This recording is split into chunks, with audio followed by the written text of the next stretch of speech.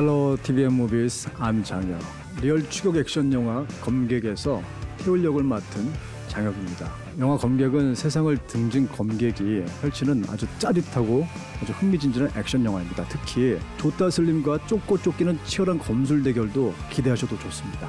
영화가 궁금하신 분들은 tvN Movies에서 영화 검객을 확인해 주십시오.